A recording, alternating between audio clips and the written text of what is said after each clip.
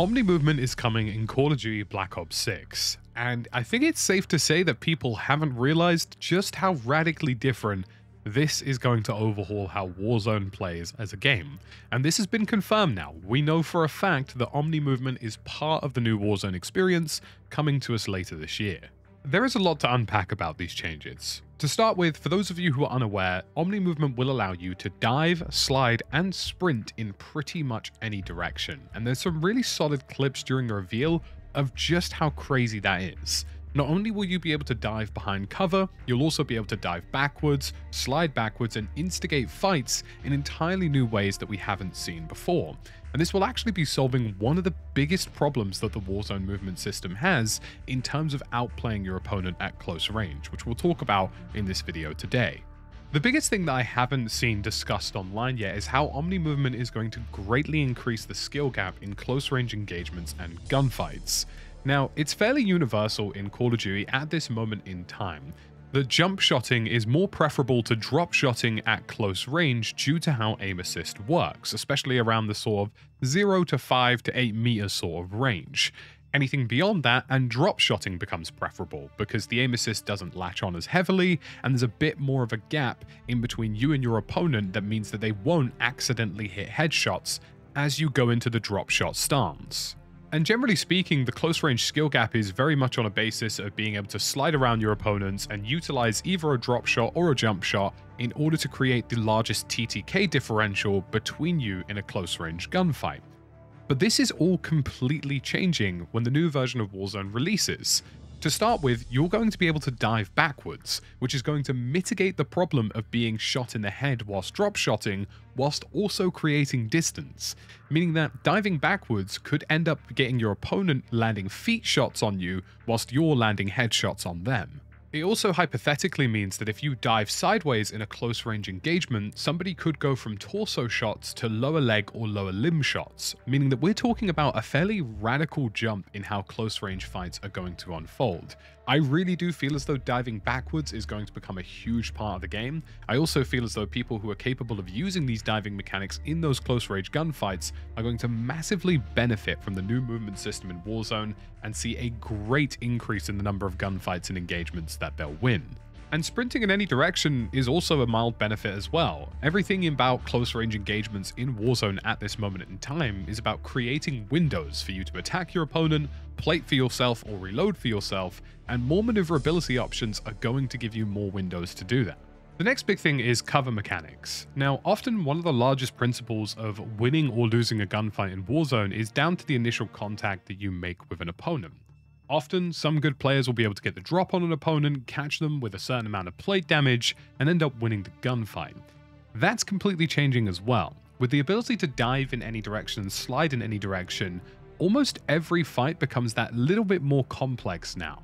Because if you don't necessarily get the damage you were initially aiming for, there'll be many more options for an opponent to get into cover than there were before. A good example I like to use of explaining just how radical a difference this is, is that if you see an enemy running down a road and they happen to pass various doors and alleyways of different buildings, there is a very high likelihood that in the future of Warzone, they could simply dive to the left or dive behind them if they end up taking contact that they weren't expecting. It's actually often the process of somebody having to redirect their movement which gets them killed out in the open most of the time, as opposed to them being far away from cover. So if somebody can quickly reshuffle their movement in a different direction and find cover more rapidly, you're going to see people surviving those initial engagements more often than they were before, or having longer, more long-winded gunfights because they were given options to respond. The next thing that lots of people haven't really touched on is how the automatic mechanics in Warzone are going to change quite drastically too. As we saw in the overall Call of Duty Direct production, there will be the ability to automatically move around the map by mantling certain objects or sliding under certain objects that we've seen in game. And it likely means that this is going to lead to a more unified design of how certain things are placed in the game.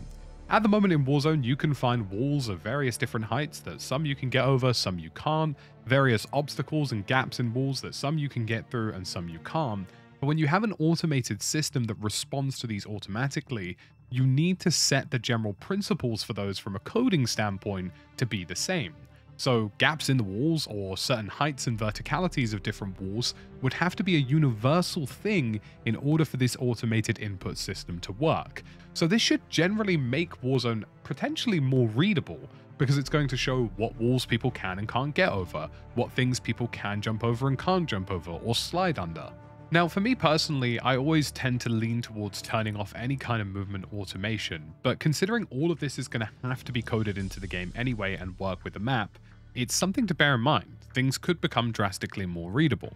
We also have the new mechanics of corner rounding and being able to shoot open doors. Now, corner rounding is really interesting because it does hypothetically hide your character's body behind cover more than traditional rounding of corners that we currently have in Warzone.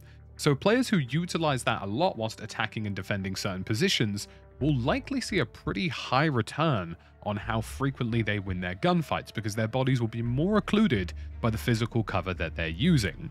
So all of these little micro adjustments, corner rounding, the omnidirectional movement, are really creating larger gaps in engagements where success can be found or success can be lost, which is kind of the core formula and loop for Warzone's gameplay anyway and I can very much imagine a future where corner rounding becomes a viable strategy for holding certain positions. I'm a big fan of being able to shoot open doors as well. I think doors are often used as a really solid way of hiding people in solo experiences, and generally in Warzone there are instances where I felt it was handy to have a door open before nading in. So being able to shoot a door open and then using utility rather than having to use utility to open said door is going to be a nice little strategy and a further increase in the overall skill gap that we've seen in Warzone that will give players more options. One of the biggest takeaways from this in terms of the omnidirectional movement that I've noticed is that we're probably going to see a bit of a reliance and resurgence more on utilities than we have before, especially utilities that manage to deal damage to an area.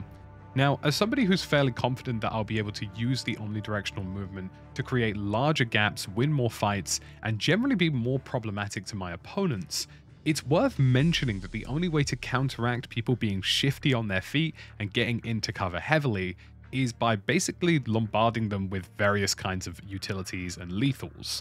Lethals like the thermite, which cause a slowdown, uh, stun grenades, which cause a slowdown, flash grenades, which make things a little bit more confusing for people, are going to be really important going forward. And I think it's really critical that Warzone strikes a balance on not allowing people to stow extra grenades and lethals in the future. Because the last thing you want with omnidirectional movement is for all of it to be counteracted by the fact that somebody has put six stun grenades in their pocket. Like I mentioned with the ability to dive backwards and drop shot people in new and very different ways, you're going to see a general broadening of the windows in which gunfights and fights against other teams take place, where things that previously would provide you an inch of an advantage, like getting the drop on somebody or using a lethal, may now possibly provide you a fairly major advantage. Something like a grenade now, in a world where people can get out of cover and get into cover faster, could likely be the deciding factor in whether or not you win a fight versus before where things were a little bit more linear and on rails. I'm really excited to see how this goes. I'm also interested to see how directional movement is going to be maintained and also slowed down. Naturally, the last thing you want is people diving every 0.01 second, because we'd end up with a very frustrating movement system if that were the case. So overarchingly, pretty excited to see how things go, and I'm curious to see what your thoughts and feelings are down below. Let me know what you think about the upcoming Omni movement system for Warzone. As always folks, thanks for watching, and I'll see you in the next one.